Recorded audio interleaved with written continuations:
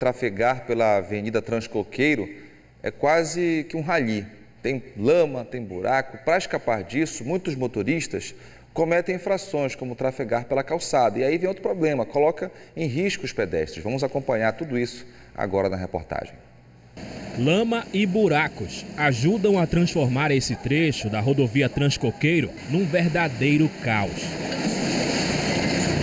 Está tão difícil seguir caminho que muitos são obrigados a invadir a calçada, que cada vez mais fica com a estrutura comprometida. Quem é dono de algum empreendimento e precisa trabalhar também sofre as consequências. É um caso muito sério isso aqui. Já quiseram fechar aqui, porque essa via aqui é de muita importância para o povo da Cidade Nova, porque é, uma, é um desvio de rota muito. Porque a BR você vê como é que é, engarrafamento lá. Você pega a Independência ali, é outro engarrafamento. Tá entendendo? Então por aqui é uma via muito boa. Mas esse descaso que vocês estão vendo aí. Os flagrantes de quem não consegue desviar dos buracos são absurdos e vão desde os carros menores, passando pelas motos, ônibus e caminhões de carga. E só não tem mais movimento aqui por causa das férias. O pessoal está indo embora e já sabe que está aqui, já vai por outro canto. Mas isso aqui para muito carro. 5 horas da tarde, 6 horas da tarde, tu não consegue passar aqui. É o caso deste pedestre que tem deficiência física e precisa ter atenção redobrada ao passar pelo que restou da calçada. Esse buraco aqui sempre existiu. As pessoas é, vêm, vêm, vêm ajeitar. Com três meses está do mesmo jeito aí. O perímetro fica entre a passagem Boa Vista e a rua Haroldo Veloso. Foi neste mesmo local que recentemente um carro ficou preso em um dos buracos. O vídeo foi feito por um morador. Eu acho que o problema daqui é justamente o quê? É que eles não desentopem esse bueiro.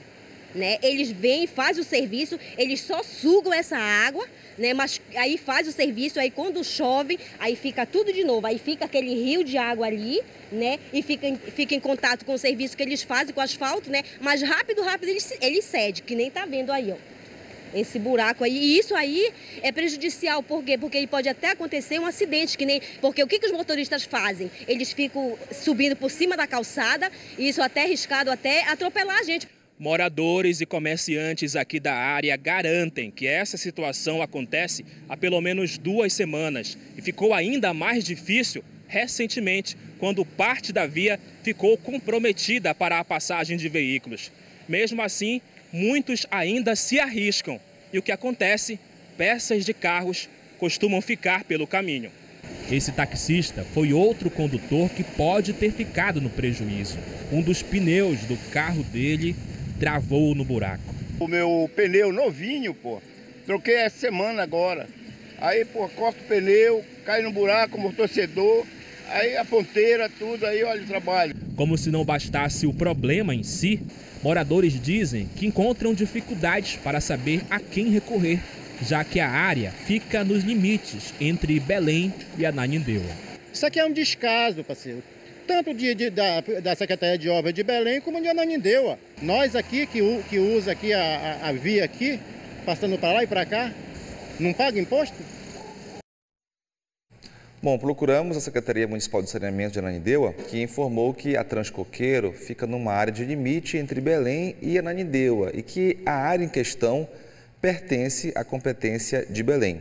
Mas caso a Prefeitura de Belém não realize manutenção, a Prefeitura de Ananindeua diz que vai fazer o recapeamento asfáltico para que motoristas e pedestres possam se locomover de forma mais segura e nós estamos aguardando ainda uma posição da Prefeitura de Belém. Agora, é muito importante que haja essa posição da Prefeitura de Belém, porque a gente viu na matéria muitos moradores reclamando que o problema estaria nessa falta de drenagem dessa água. Eles dizem que eles fazem aquela limpeza, sugam a água, mas depois os buracos retornam, né? porque não basta só fazer essa parte da recuperação asfáltica, segundo os moradores. Tem que resolver essa questão da drenagem, que seria esta água que, com o tempo, faria com que os buracos aparecessem com frequência. a gente viu né, esse caso aí preocupante, o um morador, motorista que seguia com seu carro ficou preso, esse também teve muita dificuldade.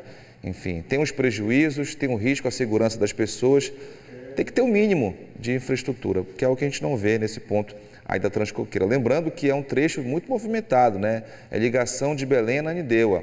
Tem caminhão, tem carros mostrando. A gente mostrou ontem aqui no Bom Dia Pará, ao vivo, inclusive, esse ponto que é o ponto mais crítico, e aí a gente não consegue entender, né? Por que, que um trecho de uma via importante de ligação entre as duas cidades está nessas condições. Mas a gente segue aguardando a posição da Prefeitura de Belém. É importante que fale sobre o que está ocorrendo nesse ponto, sobre se há algum trabalho previsto, alguma manutenção prevista, porque de fato a situação está bem dedicada, olha só, bem dedicada mesmo nesse ponto da Transcoqueiro, que já foi alvo de várias reportagens aqui no Bom Dia Pará, mostramos várias vezes esse problema, então a gente segue aguardando uma posição da Prefeitura de Belém, já que, segundo a Nanindeua, essa área pertence à capital.